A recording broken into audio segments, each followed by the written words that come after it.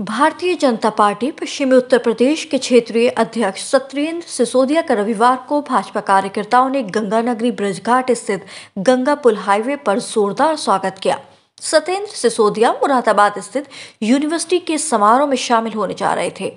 हापुड़ हलचल संवाददाता मुकेश शर्मा से बातचीत में क्षेत्रीय अध्यक्ष सत्येंद्र सिसोदिया ने कहा कि यशस्वी प्रधानमंत्री श्री नरेंद्र मोदी जी के नेतृत्व में भारतीय जनता पार्टी को 2024 के लोकसभा चुनाव में बम्पर जीत हासिल होगी और पश्चिम उत्तर प्रदेश की भी सभी सीटों पर भारतीय जनता पार्टी का एक बार फिर से परचम लहराएगा।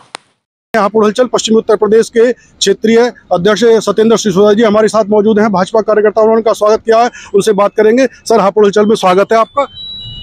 और क्या कहेंगे सर 2024 के चुनाव भी लेकर तैयारी है। क्या कार्यकर्ताओं को संदेश देना चाहेंगे भारतीय जनता पार्टी हमेशा जनता के बीच में रहती है। आज भी हम सब लोग विकसित यात्रा के माध्यम से सबके बीच में जा रहे हैं। लोगों के बीच में सरकार की उपलब्धियों का बखान कर रहे हैं। और 2024 हमारे लिए लक्ष्य है। निश्चित रूप से देश के यशस्वी प्रधानमंत्री माननीय नरेंद्र मोदी जी के नेतृत्व में पुनः भारतीय जनता पार्टी की सरकार बनेगी और हम पश्चिम क्षेत्र की सभी चौदह की चौदह सीटें जीतेंगे। धन्यवाद। तो ये थे क्षेत्रीय अध्यक्ष सत्येंद्र सुधा जी बता रहे थे कि योगी जी के नेतृत्व में एक बार फिर से सरकार बनेगी और मोदी जी की भी सरकार 2024 में बनेगी। तुषार शर्मा के साथ मुकेश शर्मा, हापुड़